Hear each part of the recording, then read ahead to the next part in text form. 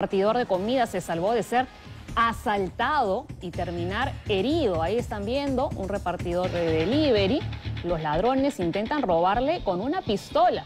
Las cámaras de vigilancia registraron el momento en el que el repartidor se estaciona para recoger el pedido en los exteriores de un restaurante cuando aparece otra motocicleta con dos sujetos a bordo.